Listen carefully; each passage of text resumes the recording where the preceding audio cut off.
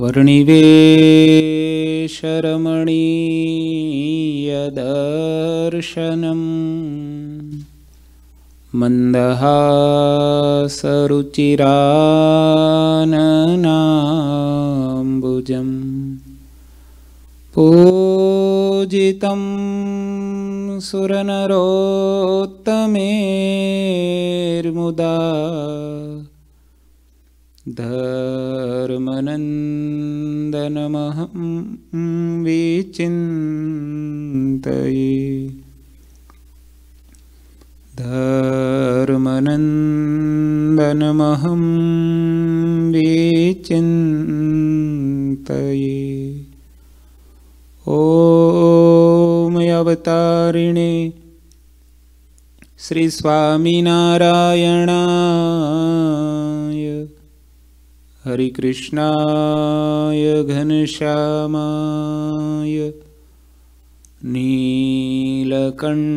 नीलकण्ठाय च नमो नमः ॐ श्रीगुरुचरणकमलेभ्यो नमो नमः બોલો શ્રી ઘનશ્યામ મહારાજની શ્રી હરિકૃષ્ણ મહારાજની શ્રી સ્વામિનારાયણ ભગવાન. બધા ભક્તોને ખૂબ ભાવથી જય સ્વામિનારાયણ. આલા ભક્તો શ્રી હરિચરિત્રામૃત સાગર ગ્રંથ, પૂર દસ અને તરંગ ચોવીસની કથા ગઈકાલે આપણે અધૂરી હતી સાંભળી. મહારાજ મેઘપુરમાં બ્રાહ્મણોની ચોરાસી કરી છ છ મહિના સુધી ત્યાં ભક્તો સંતોને સુખ આપી બ્રાહ્મણોની ચોરાસી કરીને ત્યાંથી પ્રબોધિની એકાદશીનો ઉત્સવ કરીને ત્યાંથી ચાલ્યા.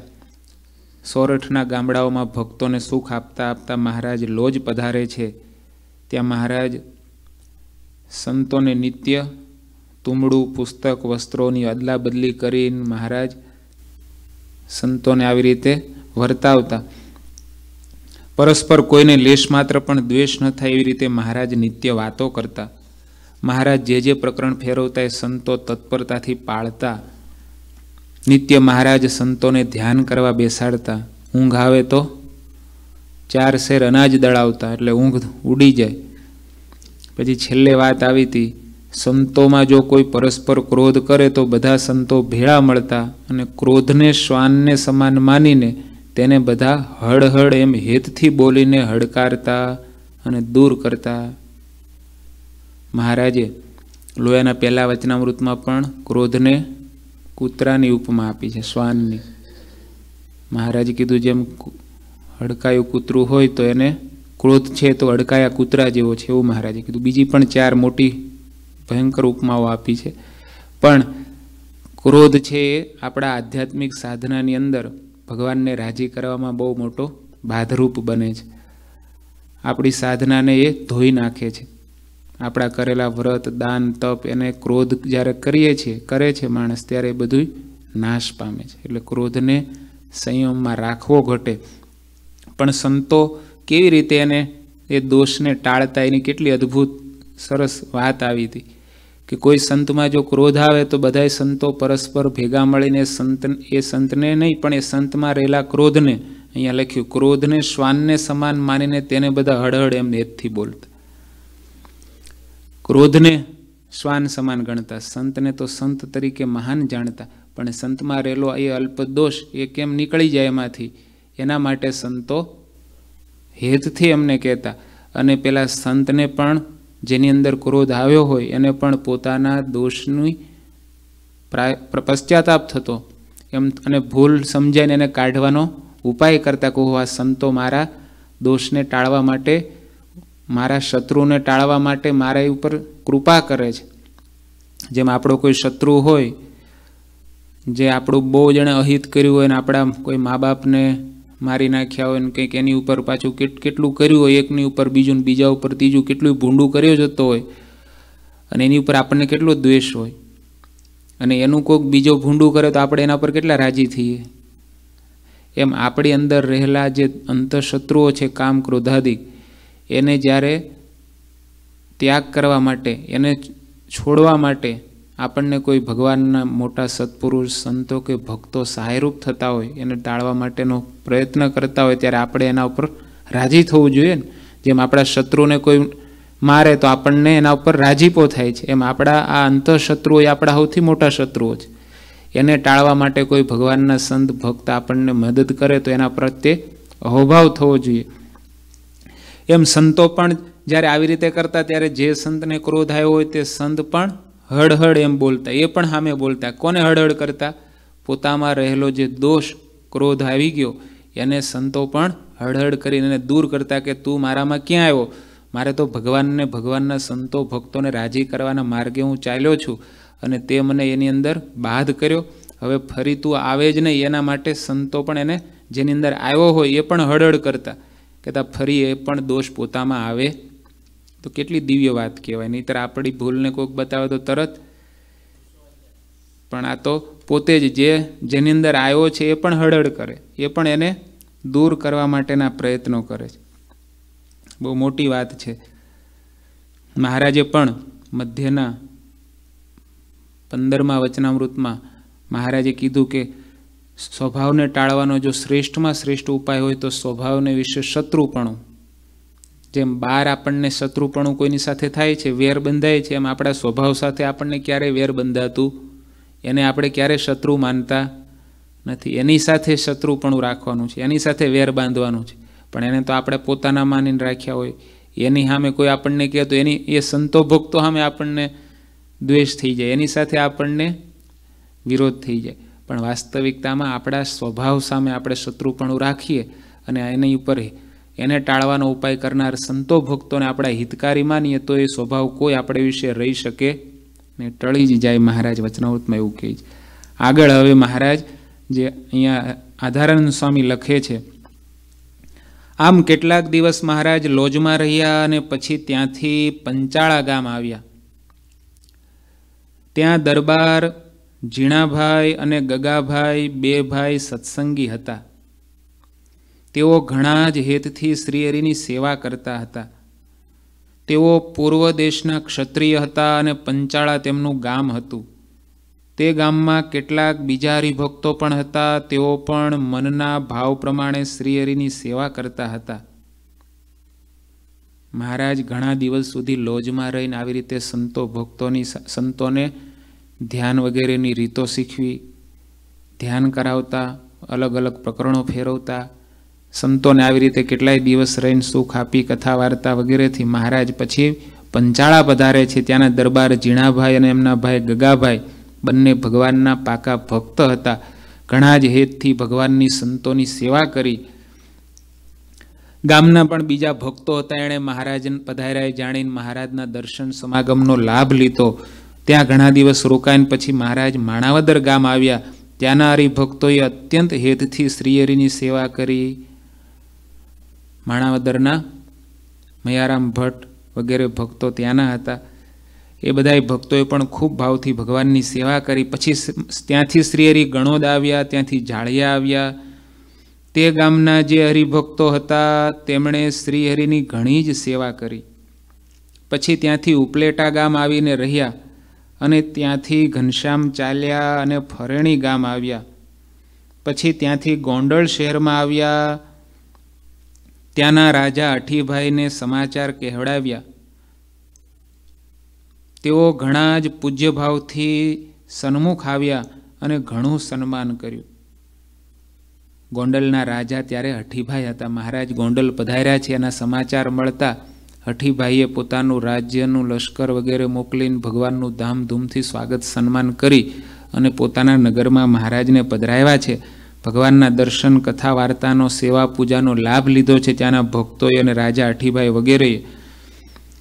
હરિભક્તોના ગામમાં જ્યારે શ્રીહરિ પધારતા ત્યારે તે હરિભક્તો સન્મુખ આવતા હતા અને પ્રત્યક્ષ ભગવાન પધાર્યા છે એમ જાણીને ખૂબ જ સન્માન કરતા હતા. મહારાજ જે જે ગામમાં ભગવાન પધારતા ત્યારે ભક્તોના અંતરમાં આનંદનો કોઈ પાર ન રહેતો. એના માટે તો દિવાળી કરતાં પણ અધિક આનંદનો દિવસ એ થતો કે ભગવાન પોતાને ત્યાં પધાર્યા, સંતો પધાર્યા, એના માટે જે કંઈ કરવું છૂટે, કરી છૂટવું ઘટે તે બધું કરતા. કોઈ પાછી પાની રાખતા નહીં, ભગવાનને, સંતો, ભક્તોને અર્થે જે સેવા કરવી ઘટે પોતાની, પોતાથી થતી તમામ સેવાઓ કરતા અને ભગવાનને ધામધૂમથી પોતાના નગરમાં ગામમાં પધરાવતા અને ભગવાનની સેવા, સમાગમ, કથા, વાર્તાનો લાભ લઈને ભક્તો ધન્ય થતા. અને જ્યારે શ્રીહરિ પોતાને ગામ પધારતા, ત્યારે ભક્તો ઘણો જ દિવ્ય લાભ લેતા. લાભ શું? ભગવાનના દર્શનનો, ભગવાનની કથા વાર્તાનો, ભગવાન સંતો ભક્તોની સેવાનો, જમાડવાનો, રસોઈનો વગેરે વગેરે લાભ લઈને ભક્તો ધન્ય થતા. સ્વામી કહે છે, એ બધી વાત તો મેરુ પર્વત જેવી મહાન છે. એ જે ભક્તો ભગવાનની સેવા, પૂજા કરીને ધન્યતા અનુભવતા, ભગવાનની કથા વાર્તા સાંભળીને જેના અંતરમાં જે અપાર આનંદ દેખાતો, એ બધાનું સ્વામી કે વર્ણન થઈ શકે નહીં. એ બધી કેવી વાતો છે? મેરુ પર્વત જેવી મહાન વાતો છે. મેરુ પર્વત તો કેટલો મોટો કહેવાય, એનું વર્ણન શાસ્ત્રમાં બહુ મોટું છે. તો આ બધી વાતો તો સ્વામી કે મેરુ પર્વત જેવી મહાન છે. પણ સ્વામી કે મેં તો મેં તો તે અહીં મારી બુદ્ધિ પ્રમાણે એક કાંકરા જેટલી કહી છે. આમાં મેં કંઈ બધું વિશેષ કીધું જ નથી સ્વામી કે. તોય આ ગ્રંથ લાખ દોહા ચોપાઈનો તો થયો છે, તોય સ્વામી કે ખાલી કાંકરા જેટલું જ મેં તો કહ્યું છે. બાકી આની જો યથાર્થ બધી વાતો લખવા જાય ને કહેવા જઈએ તેનો પાર આવે. ને એવી બધી સંતો ભક્તોની અલૌકિક મહારાજની સેવા સમાગમનો દિવ્ય ભક્તો લાભ લેતા. સ્વામી કે આગળ ब्रह्माण्ड हि ब्रह्माण्ड ब्रह्माण्ड हि अनन्त कहा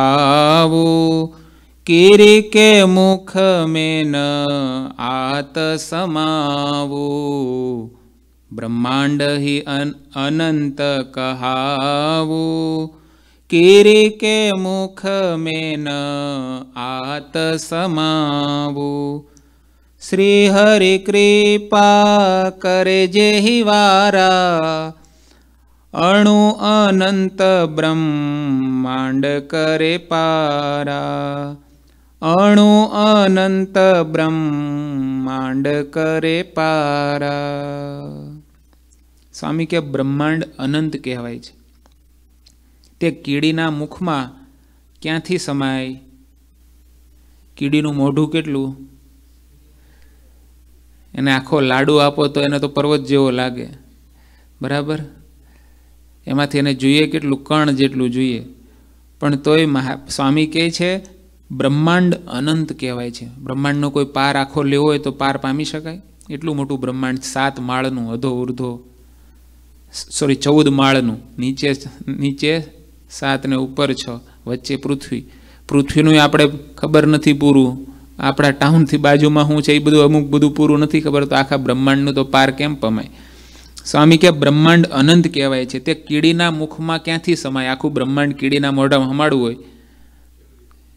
ક્યાંથી હમાય? એક ગામના, એક ખૂણામાં, એક રાફડામાં થોડીક એવી કીડી, આમ કીડીઓ થઈ હોય તો કીડીઓ આપણે આમ જોઈએ તો આખી લાખો કીડીઓ હોય, એની ગણતરી ના થાય. થોડા એવા ભાગમાં જાઓ, એના મોઢામાં આખું બ્રહ્માંડ કેમનું હમાય? એનો કોઈ પાર કલ્પના જ ના થાય ને ક્યારે કોઈ કલ્પના જ ન કરે આવી આ બાબતની. એમ સ્વામી કે જો, પણ જો શ્રીહરી કૃપા કરે તો અણી જેવી વસ્તુ પણ અંતરહિત બ્રહ્માંડને પાર કરી શકે છે. જો ભગવાન કૃપા કરે તો અણુ જેવી એકદમ નાની વસ્તુ પણ અંતરહિત, બ્રહ્માંડનો કોઈ અંત નથી અધો ઉર્ધો એવા બ્રહ્માંડને પણ પાર કરી જાય છે. જો ભગવાનની કૃપા થાય તો એમ ભગવાનના ચરિત્રો એ તો અપાર અને અનંત છે, પણ ભગવાન કૃપા કરે ત્યારે આપણે ભગવાનના કિંચિત ચરિત્રોનું રસપાન કરીને પણ ભગવાનનું એ દિવ્ય સુખની થોડી પણ અનુભૂતિ કરીએ તો પણ આપણને અહોભાવ થઈ જાય છે. એવા ભગવાનના ચરિત્રો મહાન છે અને જો ભગવાન કૃપા કરે તો અણુ જેવી વસ્તુ પણ અંતરહિત બ્રહ્માંડને પાર કરી જાય. ભગવાન સામાન્ય જીવને આપણે જોઈએ છીએ મહારાજે એવા એવા સમાધિ પ્રકરણ ચલાવ્યા.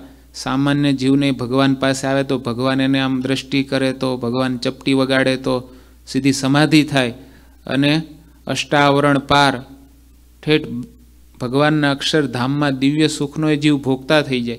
એ અણુ જેવા જીવ બ્રહ્માંડ, અંતરહિત બ્રહ્માંડને પાર કરીને, અનંત બ્રહ્માંડોને પાર કરીને ઠેઠ ભગવાનના ધામમાં પહોંચે છે ભગવાનની કૃપાથી જ પહોંચે છે ને? સામાન્ય જીવથી પોતાથી તો થવા પોતાની શક્તિનું તો એ પરિમાણ છે જ નહીં. પોતાના શક્તિથી ત્યાં પહોંચવાની કોઈ લાયકાત જ નથી. પણ ભગવાન કૃપા કરે તો સામાન્ય જીવ પણ અંત રહિત એવું બ્રહ્માંડ એને પાર કરીને ભગવાનના દિવ્ય ધામના સુખને પણ એ જીવ ભોગવે છે. મહારાજે ગોંડલના ભક્તોને અપાર સુખ દઈને પછી શ્રીહરિ ત્યાંથી ચાલ્યા અને રાજકોટ શહેરમાં આવ્યા. ગોંડલથી મહારાજ હવે રાજકોટ પધાર્યા છે. હરિભક્તોએ મન ભાવ્યા શ્રીહરિના દર્શન કર્યા. મન ભરી ભરીને ભગવાનના દર્શન કર્યા છે બધા ભક્તોએ. લાખો કે કરોડો નરનારી લોકો બધા દોડીને શ્રીહરિની સન્મુખ આવ્યા.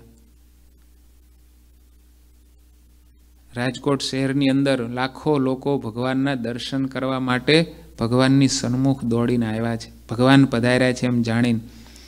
અને બધાએ સૌએ વિવિધ વિવિધ પ્રકારે પૂજા કરી અને લોકોએ જય જયકારનો ઊંચેથી ધ્વનિ કર્યો, ભગવાનનો જય જયકાર કર્યો, સહજાનંદ સ્વામી મહારાજનો જય હો, ભગવાન સ્વામિનારાયણનો જય હો, આમ બધાએ મહારાજનો જય જયકાર કરતા જાય છે અને ભગવાનની વિવિધ પ્રકારે પૂજા બધાએ જે પોતપોતાના ભાવ પ્રમાણે ભક્તો કરવા લાગ્યા. જેને શ્રીહરિમાં જેવો સ્નેહભાવ હતો, તેણે તે પ્રમાણે પૂજા કરી. આટલા બધા ભક્તો આવ્યા હોય, બધાની ભક્તિ, ભાવના, શ્રદ્ધા બધું અલગ અલગ હોય. પણ જેની જેવી ભાવના હતી, જેને જેવી શ્રદ્ધા હતી, એણે એ તે તે પ્રકારે ભગવાનની ભાવથી સેવા પૂજા કરી. ત્યાં એક દિવસ રહ્યા અને બીજે દિવસ ત્યાંથી જમીને ચાલતા થયા. એક દિવસ રાજકોટમાં રોકાયા અને બીજે દિવસે ત્યાંથી આગળ ચાલતા થયા. સહુ લોકો જાણે તે રીતે ત્યાં ભદ્રાવતી નદીમાં સ્નાન કર્યું કહેતા અત્યારે જે આજી નદી, આજી ડેમ કહેવાય છે ને, આજી નદી અમદાવાદ રાજકોટ પાસે, ત્યાં મહારાજે સ્નાન કર્યું. હરિભક્તોને અપાર સુખ આપ્યું અને પછી ત્યાંથી ચતુરાઈથી આગળ ચાલ્યા.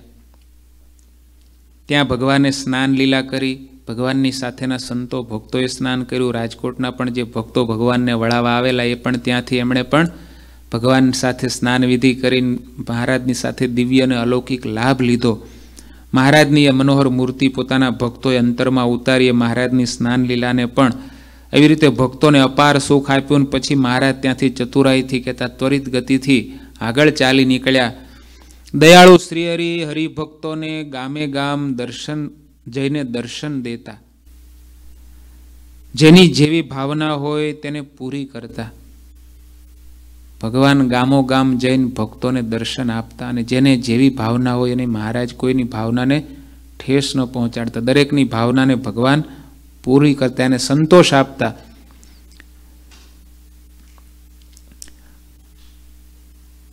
આગળ અહીંયા લખીએ છીએ ગામડામાં જ્યારે મહારાજ જતા ત્યારે ભક્તોને કેવી રીતે સુખ આપતા?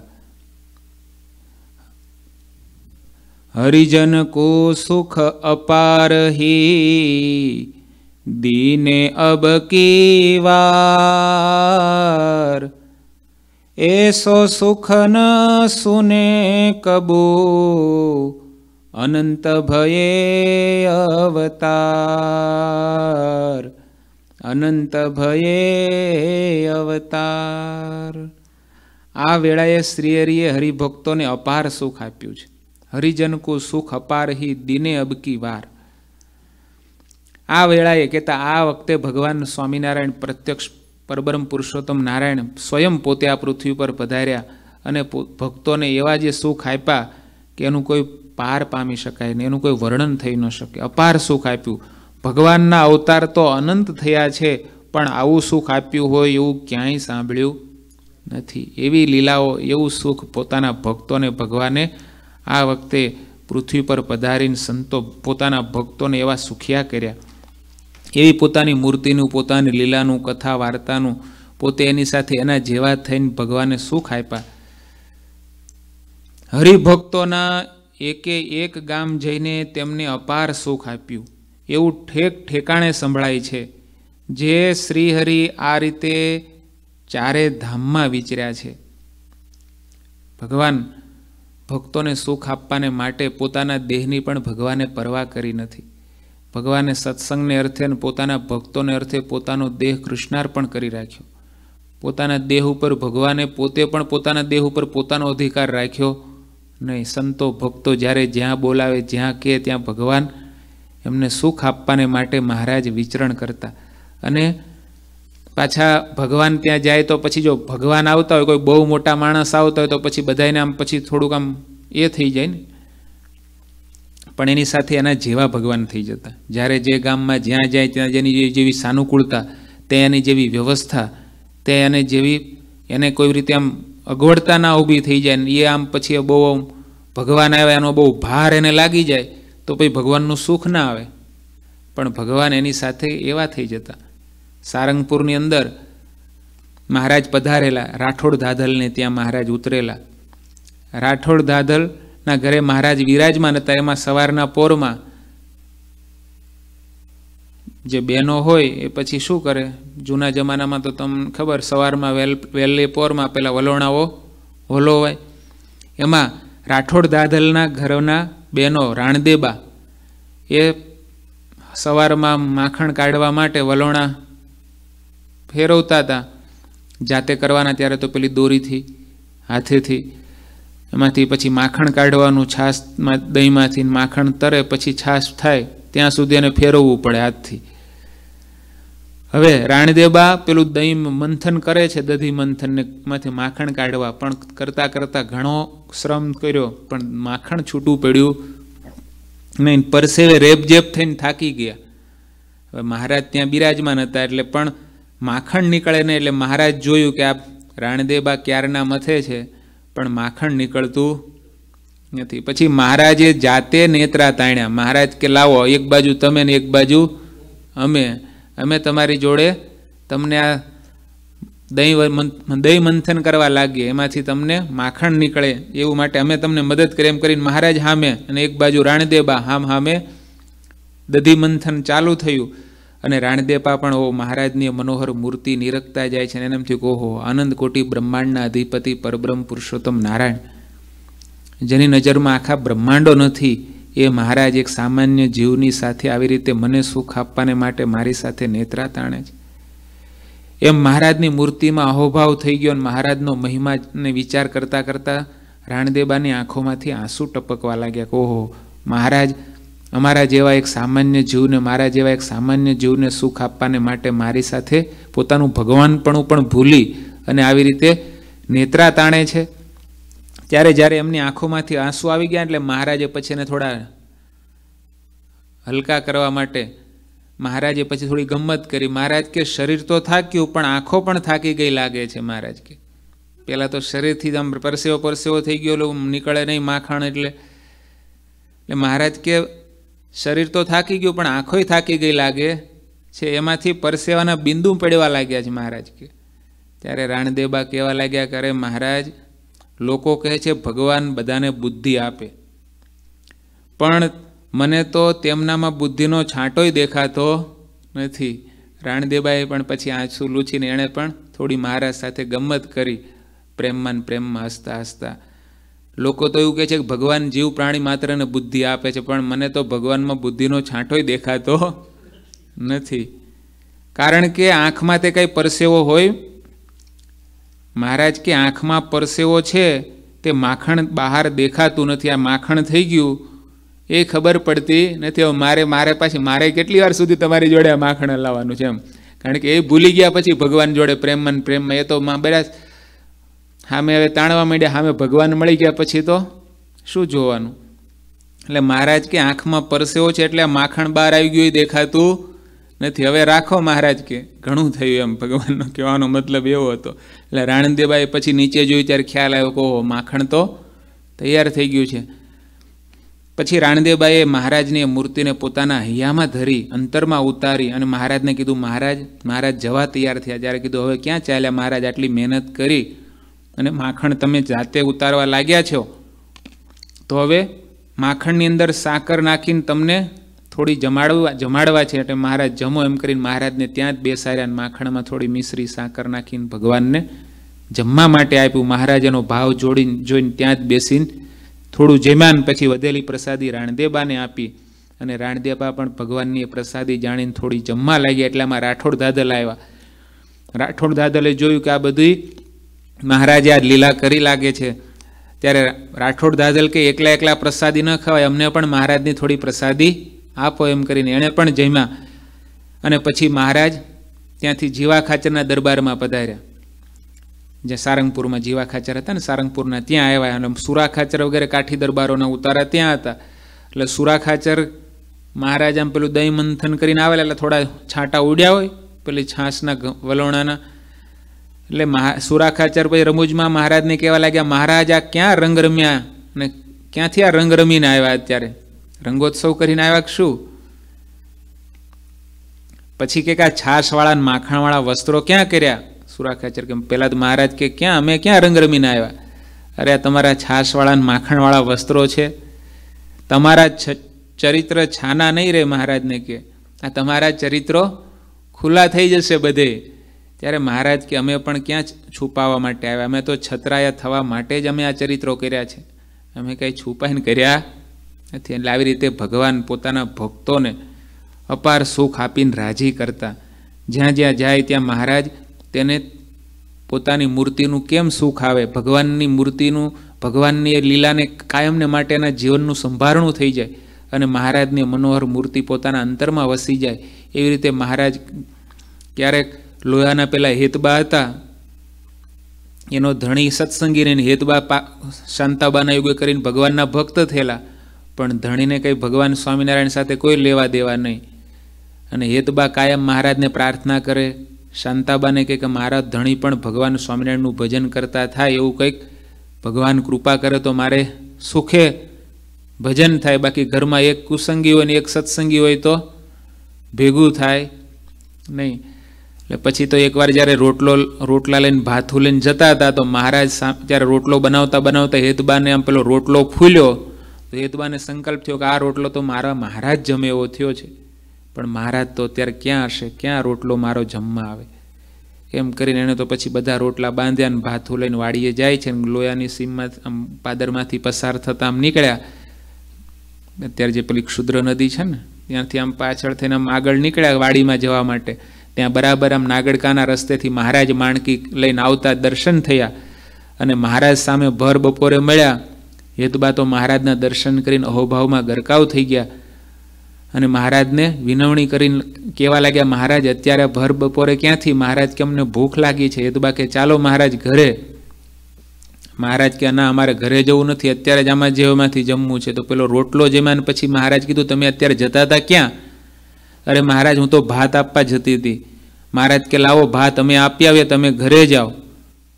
અરે મહારાજ, તમને ઘરવાળો છે તો કુસંગી છે ને તમને માર મારશે. મહારાજ કે, તમે ચિંતા કરો ને અમે બધું અમારું પાર પાડી લાવશું. એમ કરીને મહારાજ હેતબાનું ભાત પોતે માથે ઉપાડીને એના ધણીને ભાત આપવા માટે ગયા.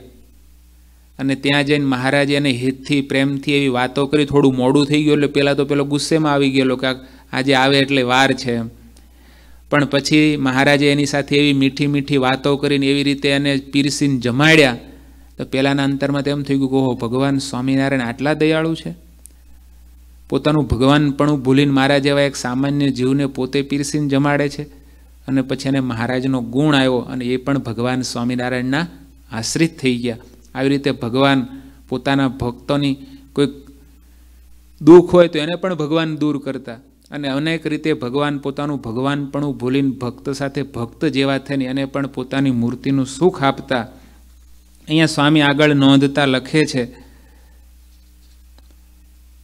એવી હરિભક્તોના એક એક ગામે જઈને તેમને અપાર સુખ આપ્યું છે મહારાજ. એવું ઠેક ઠેકાણે સંભળાય છે. જે શ્રીહરિ આ રીતે ચારે ધામમાં વિચર્યા છે. એવી નવતમ વેશભૂષાને ધારણ કરતા કે તેનું વર્ણન ક્યારેય કરી શકાય તેમ નથી.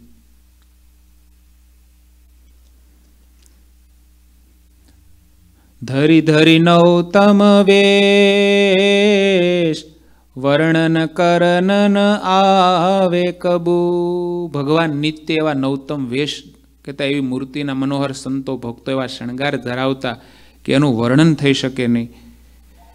કે જે સંતોને અને હરિભક્તોને માટે નિધિ સમાન છે. સ્વામી કે, હું તો અહીં તેનું લેશ માત્ર વર્ણન કરું છું. ભગવાનની એ મનોહર મૂર્તિનું, ભગવાનના એ દિવ્ય સ્વરૂપનું હું અહીંયા કિંચિત વર્ણન કરું છું. પણ એનું યથાર્થ વર્ણન તો થઈ શકે એમ નથી. હું તો અહીં તેનું લેશ માત્ર વર્ણન કરું છું. શા માટે? કે જે સંતોને અને હરિભક્તોને માટે નિધિ સમાન છે. ભગવાનના ચરિત્રો, ભગવાનની મૂર્તિનું વર્ણન, એ બધું અહીંયા વર્ણન કરું છું કિંચિત. એ શા માટે?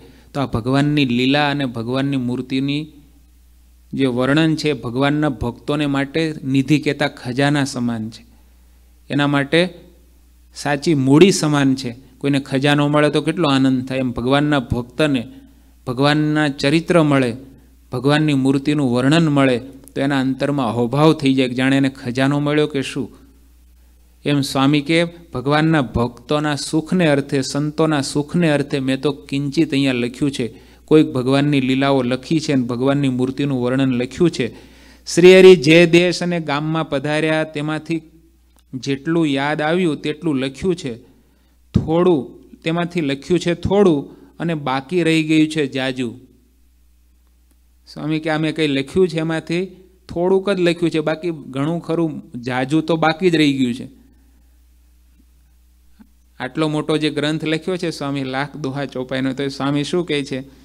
જેટલું યાદ આવ્યું, એમાંથી લખ્યું છે થોડું બાકી બાકી રહી ગયું છે જાજુ સ્વામી કે ઘણું ખરું તો છૂટી જ ગયું છે, લખાણું જ નથી, થોડુંક જ લખ્યું છે. કારણ કે અપારનો કોઈ પાર આવતો નથી. ભગવાનના તો મહારાજ વચનાવતમાં કે ભગવાનના એક એક દિવસના જો ચરિત્ર સંભાળવા માંડે, તોય પાર ના આવે, તો આટલા વર્ષ સત્સંગમાં રહ્યા, મહારાજના રોજે રોજના ચરિત્રોનો તો કોઈ પાર આવે નહીં.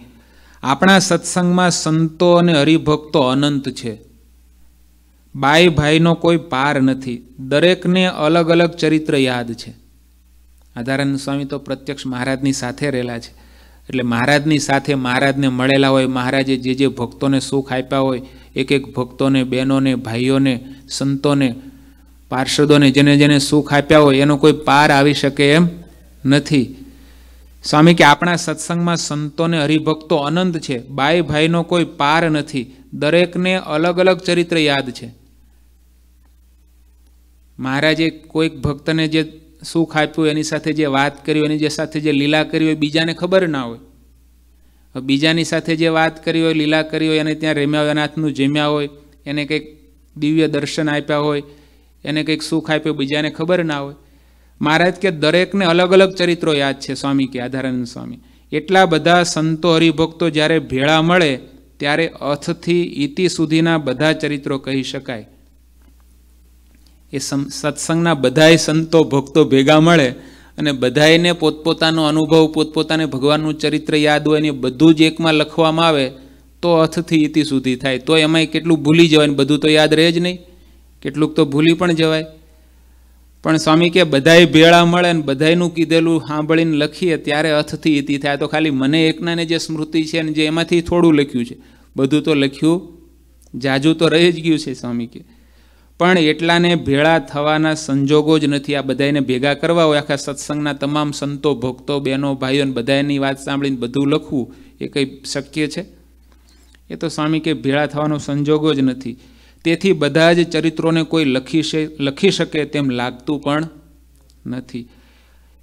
એકે એક સંતને અને હરિભક્તને ત્રીસ વર્ષ સુધી શ્રીહરિનો સતત જોગ રહ્યો હતો. અને તે સૌને શ્રીહરિના અનંત ચરિત્ર દેખવા સાંભળવામાં આવ્યા છે. દરેકને અનંત ચરિત્રો ભગવાનના જેણે દેખ્યા છે, સાંભળ્યા છે. શ્રીહરિ જેવા જેવા શ્રીહરિ જેવા ચરિત્ર શ્રીહરિના જેવા ચરિત્ર જેણે દેખ્યા છે, તેણે તે ચરિત્રોની એક એવી માળા બનાવી રાખી છે અને તે સંતો અને હરિભક્તો હરખ ભરે હૈયે તેનો જપ કરતા રહે છે. સત્સંગની અંદર જે રહેલા સંતો ભક્તો છે, દરેકને ભગવાનના અલગ અલગ ચરિત્રો ઘણા ચરિત્રો યાદ છે. એ બધા ભક્તો શું કરે છે? તો જેણે જેવા ચરિત્ર દેખ્યા છે, તેણે તે ચરિત્રોની એક માળા બનાવી રાખી છે. જેમ આપણે માળાના મણકે એક એક મણકે ભગવાનનું નામ લઈએ ને, સ્વામિનારાયણ સ્વામિનારાયણ સ્વામિનારાયણ, એમ ભક્તો ભગવાનના ચરિત્રોની માળા બનાવતા. એટલે મહારાજનું એક ચરિત્ર યાદ કરે એટલે એક મણકો, પછી બીજું ચરિત્ર યાદ કરે એટલે બીજો મણકો. એમ ભગવાનના ચરિત્રોની આખી હારમાળા બનાવી રાખી હોય અને નિત્યનું સ્મરણ કરે.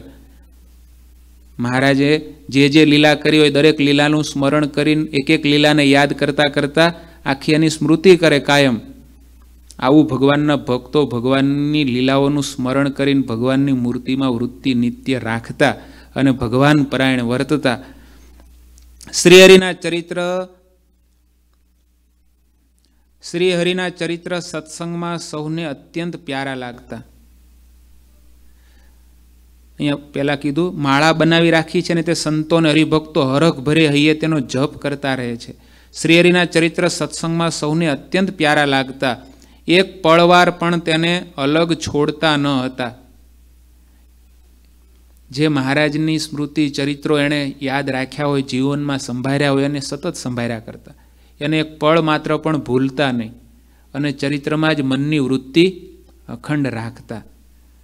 શ્રીહરિના ચરિત્ર સિવાયનું અન્ય જે કાંઈ છે તે બધું હળાહળ ઝેર જેવું જાણતા.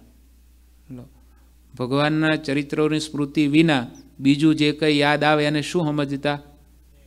હળાહળ ઝેર. એટલે જે આમ અડે તોય પ્રાણ છૂટી જાય, એવું સમજતા હતા. કહેતા ભગવાનના ચરિત્ર સિવાય બીજે કોઈ જગ્યાએ મનની વૃત્તિ જવા દેતા નહીં. ભગવાનના ચરિત્રમાં મનની વૃત્તિ રાખતા.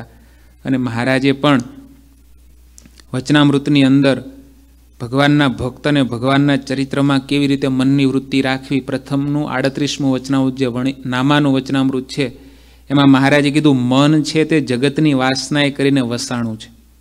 કેવી રીતે? તો જેમ ફૂલે કરીને તિલ વસાય છે, તેમ મનને ભગવાનના ચરિત્રના મહિમાએ સહિત સ્મરણરૂપ ફૂલે કરીને વાસવું અને ચરિત્રરૂપ જાળાને વિશે મનને ગૂંચવી મેલવું. મનનો તો સ્વભાવ એવો છે કે ઘાટ સંકલ્પો કર્યા જ કરવાના.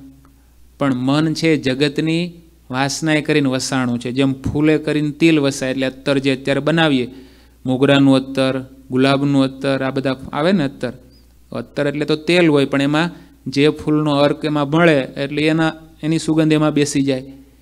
એમાં ગુલાબની બેસાડો તો ગુલાબની, મોગરાની બેસાડો તો મોગરાની. એમાં આપણું મન છે ને, એ ખાલી કેવું છે?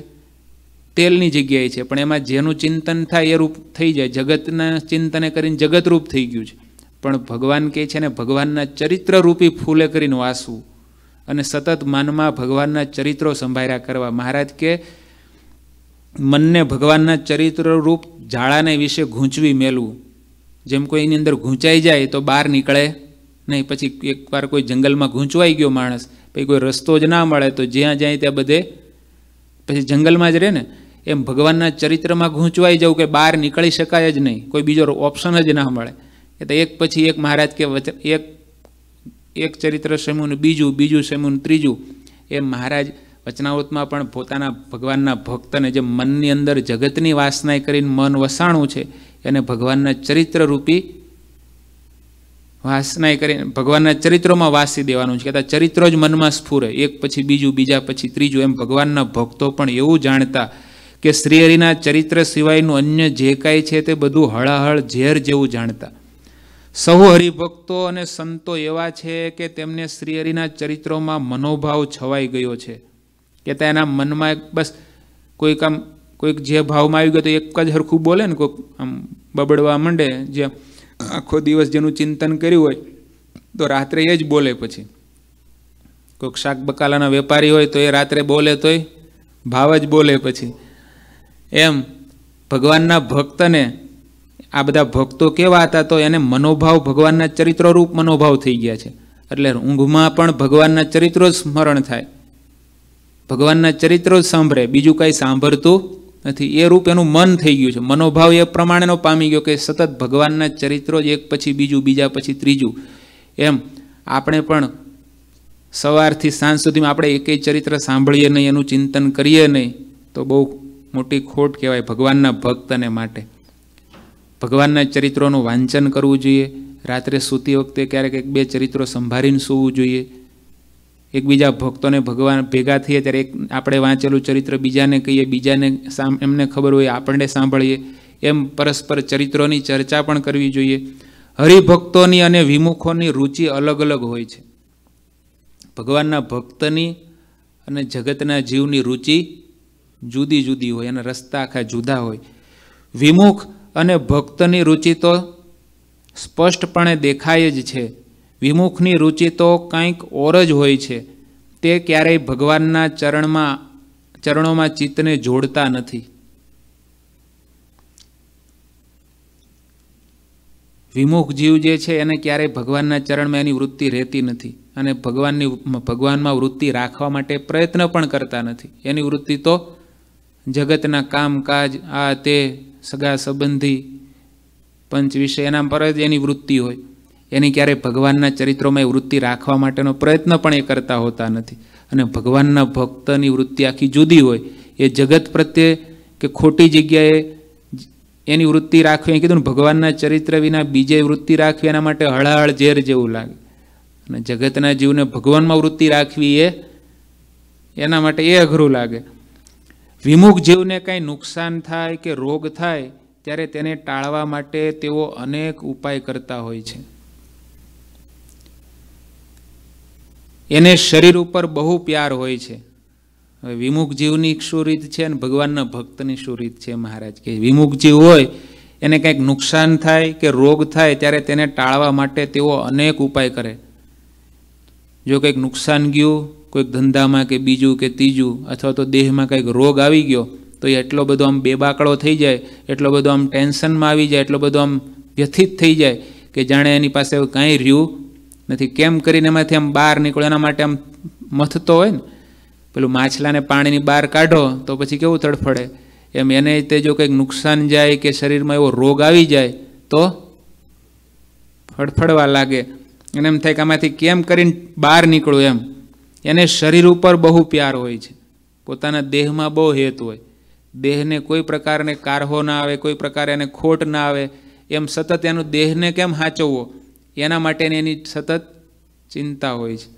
અને જગતમાં આપણે જોઈએ છીએ, અત્યારે જે કંઈ બધું જ દેહ માટેના જ છે, એના ખાવા માટે, એને સજાવવા માટે, એને સાચવવા માટે, એના જ બધા આખા સ્ટોરો છે કે જે કંઈ દુનિયામાં બધું એના પર જ ચાલે છે ને, દેહ ઉપર જ ચાલે છે. અને હરિભક્તને તો ભગવાન ઉપર અતિશય પ્યાર હોય છે. વિમુખ જીવને દેહ ઉપર પ્યાર હોય છે. અને ભગવાનના ભક્તને તો ભગવાન ઉપર અતિશય પ્યાર હોય છે. સુખ અને દુઃખ તો અનંત આવવાના, આવતા હોય છે. તેઓ ભગવાનના ચરણ સિવાય બીજે ક્યાંય લગારે સુખ માનતા નથી. ભગવાનના ભક્તની શું રીત છે? એને ભગવાન ઉપર અતિશય હેત હોય.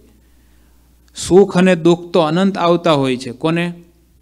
ભગવાનના ભક્તને પણ આવતા હોય છે. એવું નથી કે ભગવાનના ભગત થયા એટલે દુઃખ આવે જ નહીં.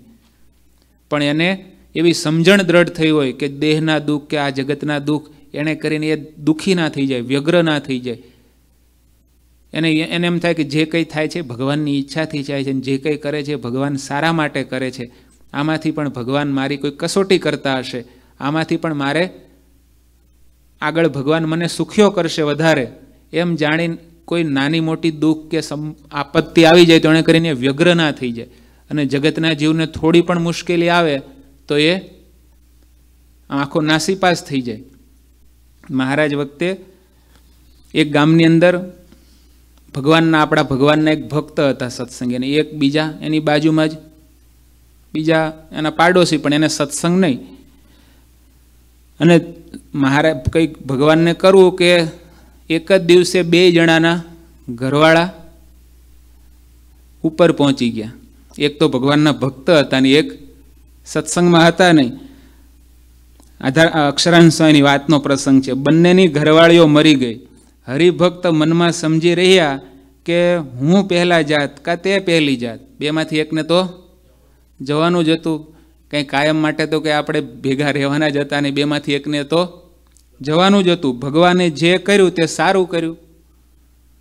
ભગવાનની જે ઈચ્છા હશે એ પ્રમાણે થયું. એ તો ભગવાનનો ભક્ત હતા, ભજન કરતા હતા, મહારાજના ધામને પામ્યા. બેમાંથી એકને તો એક દિવસ જવાનું જ હતું. આજે મહારાજે જે કર્યું હશે, સારું કર્યું હશે. આમ જાણીને તો ભગવાનની મરજીમાં પોતાની મરજી ભેળવી દીધી અને ભગવાનનું ભજન કરવા લાગ્યા. પણ બીજી બાજુ પેલા પાડોશમાં જ પેલા કુસંગી હતા. જ્યારે કુસંગીએ તો રોઈ રોઈને કૂટી કૂટીને છાતી પકવી દીધી. જે કોઈ આવે, એટલે એ તો સતત રો રોજ કરે કે ઓહો હો ક્યાં ગયા શું થયું ને કેમ થયું ને કેમ મને મૂકીને જતા રહ્યા. હવે આખો દિવસ રો રોજ કરે ને છાતી કૂટીને છાતી પકવી દીધી. કહેતા છાતી લાલ ગુમ થઈ ગઈ. આટલું એની પાછળ રડે. એક દિવસે પછી ઘણો સમય સુધી તો આવું બધું ચાલ્યું. પંદર દી, મહિનો સુધી. કારણ કે આને તો એટલો બધો શોકમાં વ્યક્ત એ થઈ ગયેલા કે મારું જાણે સર્વસ્વ જતું રહ્યું. હવે શું થશે? પણ પછી મહિનો પૂરો થયો એટલે થોડું શાંત થયું ને પછી કંઈ ખેતરે કામકાજ માટે બે ભેગા થયેલા. એટલે એક દિવસે ધુમાડીએ બંને જણા તાપતા હતા. શિયાળાનો તમ સમયે એટલે પેલા ભગવાનના ભક્ત અને પેલો પાડોશી બે ભેગા થયા તાપવા માટે. અને પછી જ્યારે પેલો કુસંગી હતો એ પેલા ભગવાનના ભક્તને કહેવા લાગ્યો કરે ભલા માણસ માણસ જેવું માણસ મરી ગયું ને ઘરે તાળું દેવાયું ને તું રોયો નહીં ને કકળ્યો પણ નહીં, આવું મોટું થયું ને તને રડવું પણ આવ્યું નહીં. અને તું તો જાણે કંઈ થયું જ નથી, એમ વર્તે છો. અને તારી તો આવી કઠણ છાતી કેવી એમ? કે તું આટલું બધું થયું તોય તને કંઈ થયું નહીં. ત્યારે પેલા સત્સંગી ભક્ત કે, જો ભાઈ, તું રોયો, કકળ્યો, ખાધું નહીં, છાતી ફૂટ, છાતી કૂટી, તે તારે ઘરે જો પેલી મરેલી પાછી ભર, પાણી ભરતી હોય, તો લેને હુંય દાળિયા લઈને કૂટાવું કે?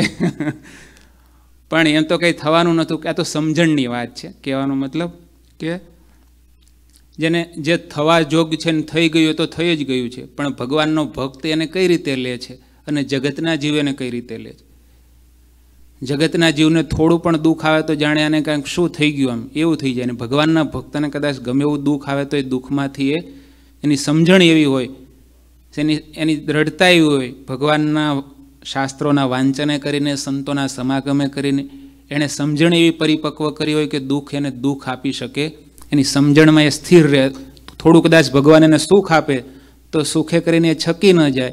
અને દુઃખ આવે તો દુઃખે કરીને એ વ્યગ્ર ના થઈ જાય, દુઃખી ના થઈ જાય. એની ધીરજમાં સ્ટેબલ રહે. ભગવાનના ભજન, ભક્તિ, સત્સંગ એના ઓછા ના થઈ જાય. અને સત્સંગની કરવાનું ફળ જ એ છે ને. બાકી જગતની અંદર આવે છે એટલે બધાને સુખ દુઃખ તો આવવાના જ. પણ ભગવાનના ભક્ત સત્સંગે કરીને સમજણ એવી પરિપક્વ કરે છે કે એ દુઃખ એ દુઃખ આપી શકતા નથી. હરિસે માનત શોક, ઓર સે ન માનત શોખ કબો. આવે અનંત હિ દુઃખ, હરિજન માનત ન દુઃખ તેહી હરિજન માનત ન દુઃખ તેહી તેઓ ભગવાન તરફથી જ સુખ માને છે, ભગવાનના ભક્ત. બીજા કોઈ તરફથી ક્યારેય સુખ માનતા નથી. કદાચ અનંત પ્રકારના દુઃખ આવી પડે તો પણ તેઓ સમજણવાળા છે. તેથી તેને દુઃખ માનતા નથી. આ પિંડમાં અને બ્રહ્માંડમાં જે કંઈ સુખ દેખાય છે તેમાં હરિભક્તો ક્યારેય સુખને જરા પણ દેખતા નથી. ભગવાનના ભક્તની આ રીત છે. આધારાનંદ સ્વામી આ ગ્રંથમાં અહીંયા નોંધે છે. ભગવાન, ભગવાનના ભક્ત કેવા હોય એ ભગવાન તરફથી સુખ માને છે. એને જે કંઈ સુખ આવે એ ભગવાનમાંથી જ આવે. ભગવાન તરફથી જ સુખને માને છે. બીજા કોઈ તરફથી ક્યારેય સુખ માનતા નથી. આ જગતની કોઈ વ્યક્તિ, વસ્તુ, પદાર્થ, કે આ લોકની કોઈ હાનિ, કે આ લોકની કંઈક વૃદ્ધિ થઈ જાય, કંઈક નફો થઈ જાય, કંઈક બહુ મોટું મળી જાય, તો એમાં એને સુખ માનતા નથી. એને ખ્યાલ છે કે આ બધું તો એક દિવસ નાશવંત જ છે. મળ્યું તોય ન મળ્યા બરાબર જ છે. પણ સુખ તો ભગવાનમાં છે. ભગવાનની મૂર્તિમાં છે. ભગવાનની ભક્તિમાં છે. આવું એ સદાય માનતા હોય છે. અને કદાચ અનંત પ્રકારના દુઃખ આવી પડે તો પણ તેઓ સમજણવાળા છે, તેથી તેને દુઃખ માનતા નથી. અપાર દુઃખ આવી જાય. ઉપલેટાના વેરાભાઈ એક જ વર્ષમાં ઘરના એકવીસ મેમ્બરો જતા રહ્યા. તોય લોકો એને કહે કે તમને સત્સંગ હદ્યો નહીં, ના, તમારા ભગવાને શું કર્યું તમારા ઉપર? તો એ વેરાભાઈને એમાંથી રંજ માત્ર ભગવાન પ્રત્યેનો ભાવ ઓછો ન થયો. ભગવાન પ્રત્યેની ભક્તિ ઓછી થઈ નહીં. એટલે અહીંયા મહારાજ સ્વામી કહે છે, એને તો અનંત પ્રકારના દુઃખ આવે તો પણ સમજણવાળા છે અને દુઃખ માનતા નથી. આ પિંડમાં અને બ્રહ્માંડમાં જે કંઈ સુખ દેખાય છે, તેમાં હરિભક્તો ક્યારેય સુખને જરા પણ દેખતા નથી. પિંડ એટલે આ દેહમાં અને બ્રહ્માંડમાં જે કંઈ સુખ છે, એને ભગવાનનો ભક્ત એને સુખ માનતો જ નથી. એ તો એ ભગવાનમાં જ અને સત્સંગને જ વાસ્તવિક સુખનો નિધાન સમજે છે. આ જગતનું સુખ એને સુખ અનુભવતો જ નથી, માનતો જ નથી. જેને જેમાં સુખ માન્યું જ નથી, એ મળે તો આપણને સુખ લાગે, કારેલા ભાવતા જ ના હોય મળે તો આપણને એમ લાગે કે ઓહો, બહુ સારું આવી ગયું લાગે. પણ જેમાં બહુ સુખ મનાતું હોય ને એ મળે તો આપણને અહોભાવ થાય. પણ ભગવાનના ભક્તની એવી સમજણ હોય કે દેહ કે બ્રહ્માંડમાં કોઈ સુખ એને સુખ ન અનુભવાય. એવી સ્વામી અહીંયા વાત કરે છે. ઇતિ શ્રી સહજાનંદ સ્વામી શિષ્ય સિદ્ધાનંદ મુનિ વિરચિત શ્રી હરિચરિત્રામૃત સાગરના દશમપુરમાં શ્રી હરિ સોરઠમાંથી રાજકોટ આવ્યા અને ત્યાંથી પણ નીકળી ગયા. એ નામે ચોવીસમો તરંગ સમાપ્ત થયો.